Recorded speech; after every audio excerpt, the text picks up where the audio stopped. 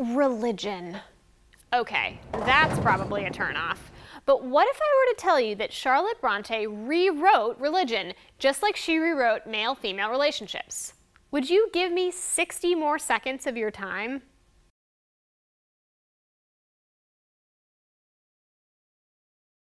Let's be honest. Charlotte Bronte did everything she could to make religion pretty unappealing. The first super religious guy we encounter in the book, Mr. Brocklehurst, is abusive and a hypocrite. He forces the orphans in his care to endure horrible conditions, and all in the name of making them better Christians. Meanwhile, his own daughters live the lives of princesses. Then there's St. John. He's not a hypocrite, but he's egotistical and self important. Even worse, he tries to convince Jane to marry him and become a missionary.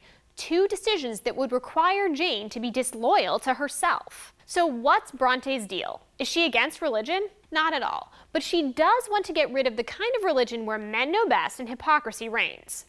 Remember that Jane never abandons religion, but she does find a middle ground. As she thinks through the examples of religion that she encounters, she clings to spirituality even as she rejects oppressive and self important faith. Maybe call Bronte's theme enlightened religion. Better yet, call it thinking for yourself.